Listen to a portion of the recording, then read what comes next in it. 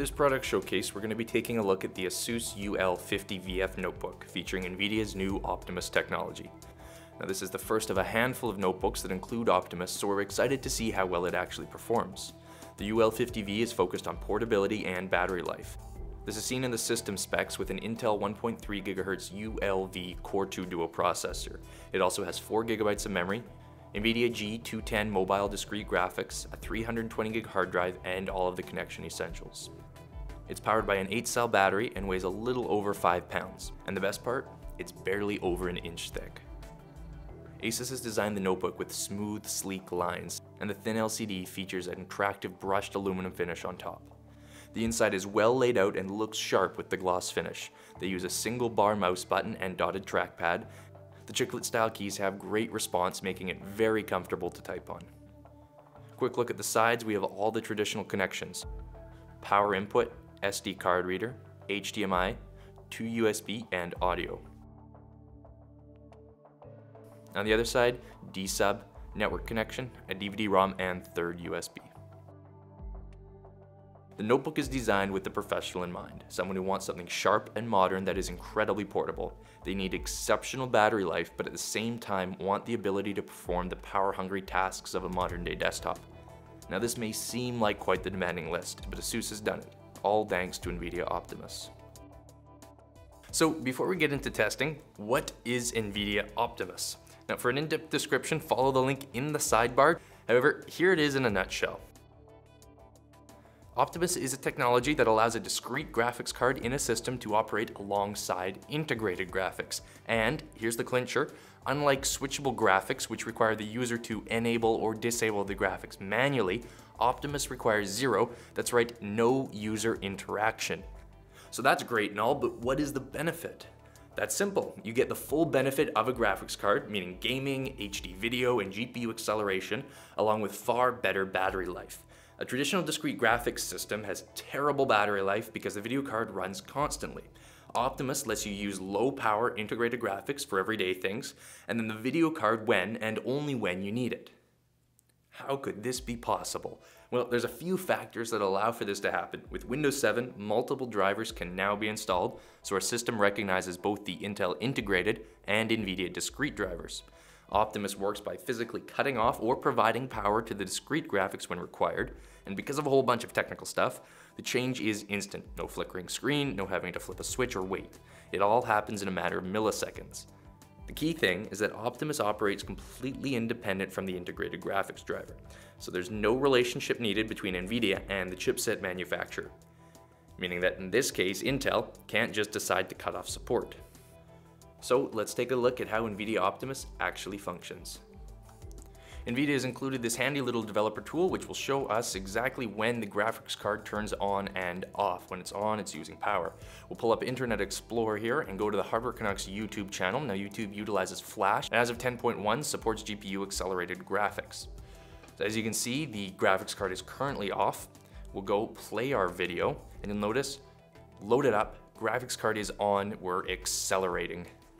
Pause the video, head close it down, watch, and off, immediately off. We're back to using integrated graphics and lower power. Next we'll pull up a video transcoding program which supports NVIDIA's CUDA technology. Graphics card turns on, program is up, and we're ready to go. It really is just as quick as you're seeing it here. Say for instance we want to do something a little different, watch an HD movie perhaps. Ready? Video is on, graphics are on, video is loaded and playing, and we are ready to go. Close that down and back to low power integrated graphics. However, if you know you're not going to be needing the video card, the software does allow you to specify which graphics processor you want to use. Here you'll see we can opt to run the media player with integrated graphics. Now, when the video loads, the NVIDIA GPU will not engage.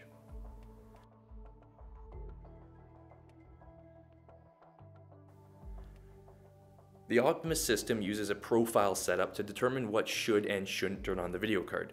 You can see under the control panel that there are hundreds of different games and applications supported, and NVIDIA is constantly automatically updating and downloading new profiles for you. But if you do want to add specific rules for an application, in this case our media player, you do have the option. You can select to use the default global settings, discrete graphics, or in this case integrated graphics. Now when we launch our video, we don't have to make any custom selections and the video will always use integrated.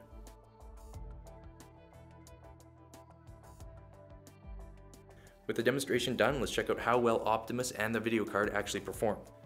Check this out, in Left 4 Dead 2 with our quality settings at low medium, the integrated graphics couldn't even finish the benchmark, while the discrete card enabled by Optimus plays with perfectly usable frame rates.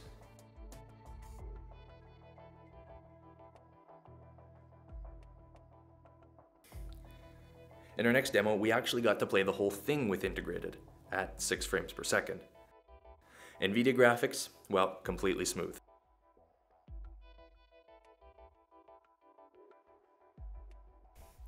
Now, one of the biggest benefits I see coming from this technology will be its integration into netbooks. Most can't play HD video or even dream of playing Blu-ray, and if they can, they're using a chip that absolutely destroys battery life.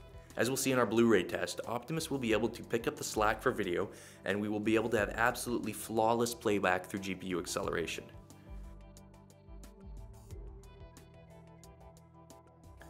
On the same note, Adobe now has support for GPU acceleration with Flash 10.1.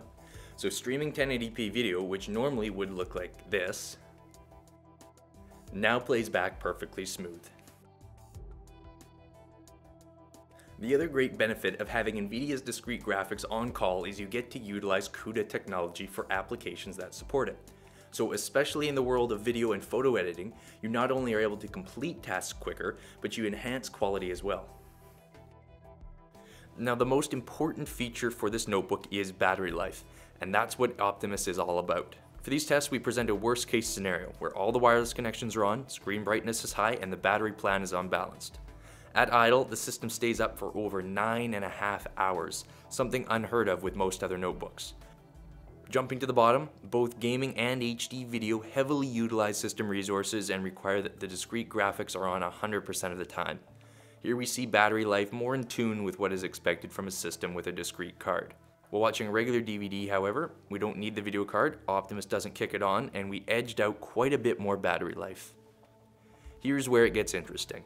Our general use test went through a typical day of web browsing, emails, image processing, and over 50% of our time was spent watching YouTube.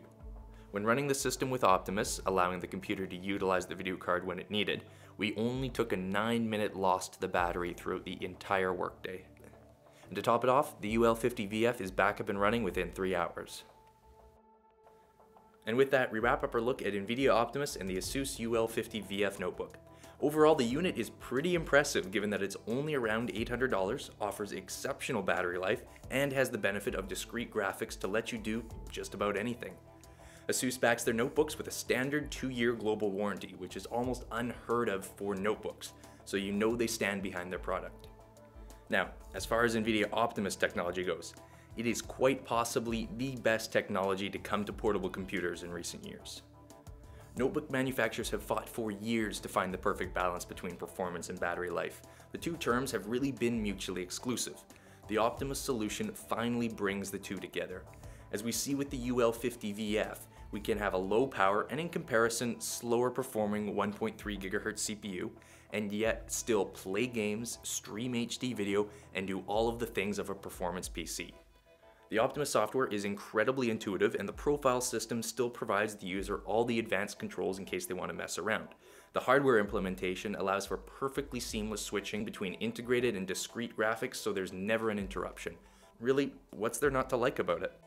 Both the ASUS UL50 VF notebook and NVIDIA's Optimus technology received the Hardware Canucks damn good seal of approval.